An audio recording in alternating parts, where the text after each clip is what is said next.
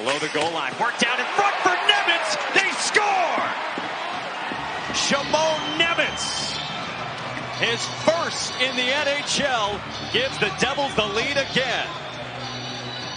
Well, it just starts a battle down low for the New Jersey Devils in the Kraken zone. You can see all the pressure coming, but watch Nemec. He's in the middle in the neutral zone and watch him just slide down in a perfect timing, in a perfect place, and what a finish for his first National Hockey League goal.